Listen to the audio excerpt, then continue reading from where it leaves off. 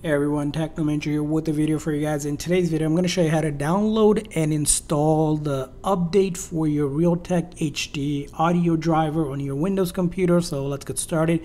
This method will work on Windows 11 and 10 as well. So very first thing you're going to do is go into the search bar, open up your Windows, and we're going to search for Device Manager. So it's going to be a program that manages the devices here. So we're going to go ahead and open that up. And once you open it up, we're gonna look in this over here and you're gonna look for this specific option for sound and video and game controller. So we're gonna expand this menu. And right here, as you can see here, I have the Realtek audio here. You might see it under a different name, but basically you're gonna right click on this and then click on properties. When you click on properties, a couple things here, we can go to driver here and it'll give you an update detail on it was last updated the updated version as well. Now what you can try to do is see if there's an update on your computer already possibly already downloaded so you can click on download update and then if you have it browse for it or automatically search for it and it can look to see if there's a driver available. As you can see here you already have the best one but there might be a update that you can download. So if this method doesn't update it for you the other method you're going to want to do is exit out of this here, you're going to go to your favorite browser here. So I'm going to go to Chrome here, and you're going to search up a Realtek audio driver. So when you search it up, the very first link should be a download link to their actual website for the HD audio codec software. So you're going to click on that or navigate to their website and look for this section here.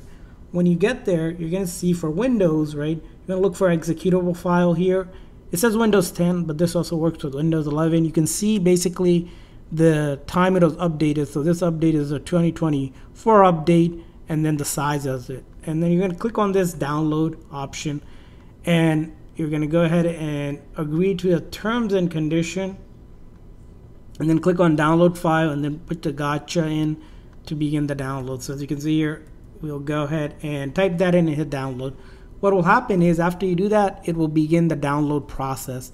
Now, keep in mind, I find that this website is super slow. took me about one hour to download 248 megs or so, even though I have a really high speed internet. So you have to be patient with it. If you lock the screen or move away, it's going to fail the download. So let it download. And once you download here, you're going to go to basically find your downloads here. So you'll see here, I have it here already downloaded. I've been working on this download. It's going to be executable. You're going to go ahead and open up that executable, right? Or look for it in your file. And you're going to say basically yes. And it's going to basically work your way through updating it. So here you're going to follow the menu basically. Just uh, follow the prompt as it opens up the file. And then you're going to go ahead and walk through this install wizard basically. So here uh, it's installing and basically all of the packages and needs. And it's already running. Please wait for instant. And you can see here the update is happening. Just let it go ahead and let it do its thing here.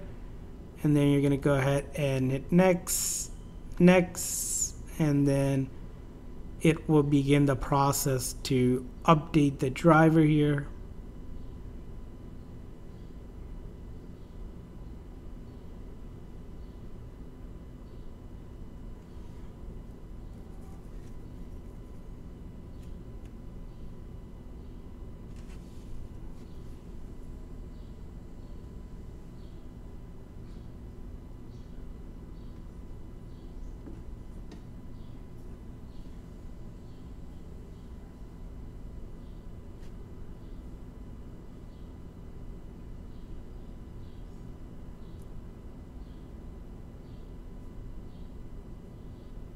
and then for the final uninstalling of the driver you'll need to restart your computer and you want to reinstall the driver. So we'll go ahead and finish OK and it will restart your computer because it is a driver for it to go ahead and actually work. So updates are underway. So we're going to keep your computer on. Make sure you have connected to a power or you have good battery percentage because this could take some time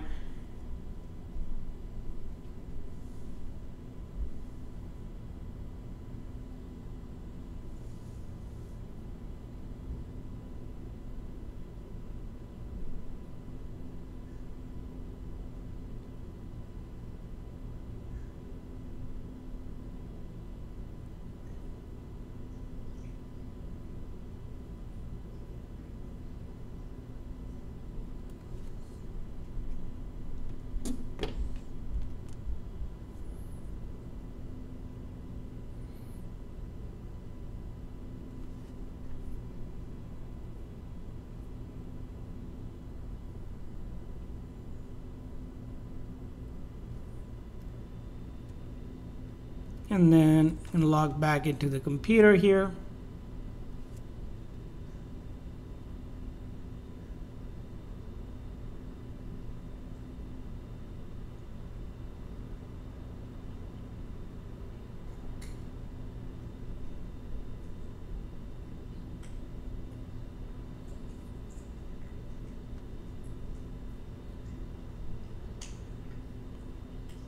and we're gonna hit through the next process here. So we're gonna basically it installs and then goes and installs the new driver part of the reboot process. So as long as you're following through it will go ahead and do what it needs to do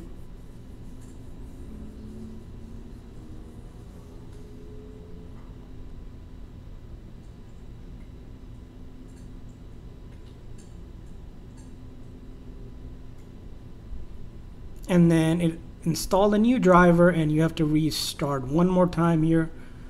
And then so the uh, first restart was uninstalling and restarts and then installs again.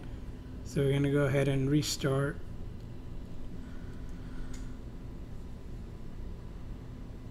And basically after the restart the driver is updated and you're good to go so I hope this video was helpful. So please consider the like and subscribe button for more tips and tricks for your Windows computer. We'll see you guys next time.